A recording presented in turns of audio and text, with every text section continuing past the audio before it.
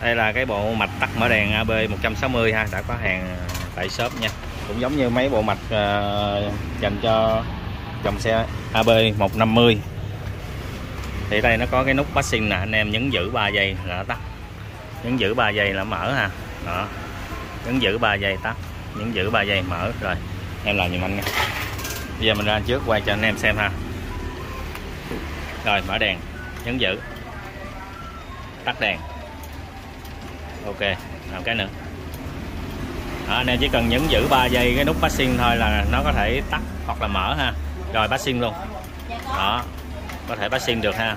Hay là tắt đèn nè. À, đi ban ngày mình tắt đèn ha. Vẫn passing được. Rồi mở đèn luôn.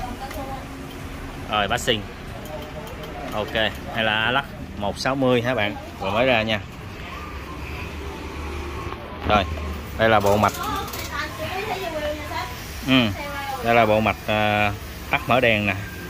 Dành cho AB160 hoàn toàn cắm dắt nha, không có cắt dây gì hết.